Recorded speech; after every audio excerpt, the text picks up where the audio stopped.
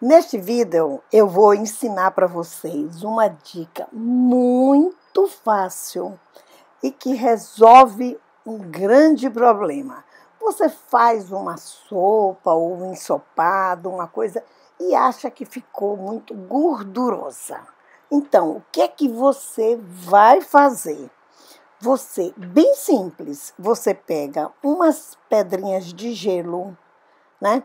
Pega com uma pinça, pega uma pedra de gelo e coloca na sopa, né? Ou no ensopado.